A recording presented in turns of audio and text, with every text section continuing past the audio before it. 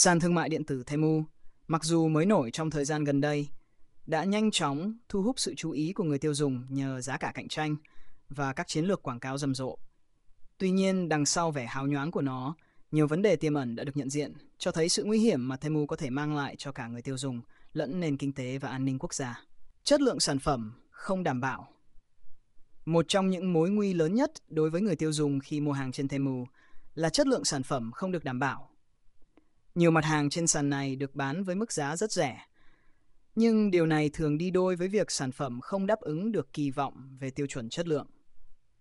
Người tiêu dùng có thể gặp phải tình trạng hàng hóa không giống với mô tả, hàng giả, hàng nhái hoặc thậm chí là hàng không an toàn. Những sản phẩm không đảm bảo chất lượng này có thể gây ra nhiều hậu quả nghiêm trọng, từ việc lãng phí tiền bạc cho đến các nguy cơ về sức khỏe, đặc biệt là đối với các sản phẩm như mỹ phẩm, đồ điện tử hoặc đồ dùng cho trẻ em. 2.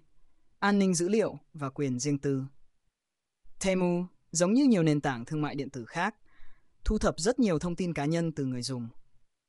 Tuy nhiên, câu hỏi đặt ra là liệu dữ liệu này có được bảo vệ một cách an toàn hay không?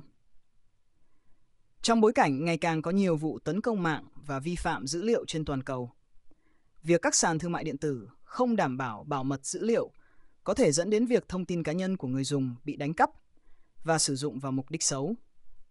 Điều này không chỉ ảnh hưởng đến quyền riêng tư mà còn có thể gây thiệt hại tài chính nghiêm trọng cho người dùng. 3. Gian lận và lừa đảo trực tuyến Temu cũng tiềm ẩn nguy cơ trở thành môi trường thuận lợi cho các hành vi lừa đảo trực tuyến. Do không có sự kiểm soát nghiêm ngặt từ các nhà quản lý hoặc cơ chế bảo vệ người mua yếu kém, người tiêu dùng dễ dàng trở thành mục tiêu của những kẻ lừa đảo. Điều này có thể bao gồm các tình huống như người mua không nhận được hàng sau khi thanh toán, nhận hàng kém chất lượng mà không có cách nào hoàn trả hoặc bị chiếm đoạt thông tin thanh toán. 4. Ảnh hưởng đến các doanh nghiệp nhỏ.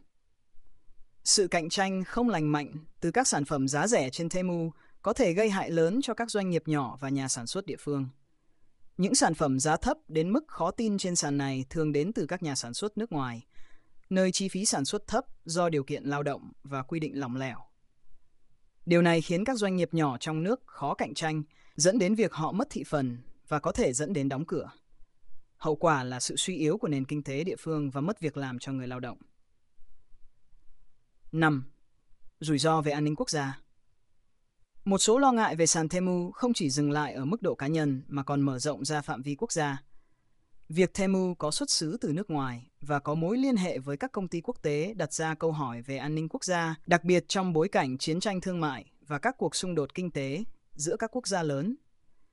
Những nền tảng thương mại điện tử không minh bạch về nguồn gốc và hoạt động có thể tiềm ẩn nguy cơ trở thành công cụ để thu thập thông tin, thực hiện gián điệp kinh tế hoặc gây ảnh hưởng đến thị trường nội địa của các quốc gia mà nó hoạt động.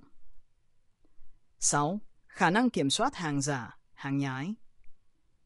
Cuối cùng, một vấn đề nghiêm trọng khác là việc Temu có thể trở thành nền tảng phát tán hàng giả, hàng nhái. Việc kiểm soát nguồn gốc hàng hóa trên Temu gặp nhiều khó khăn do quy mô lớn và tốc độ phát triển nhanh chóng của sàn này.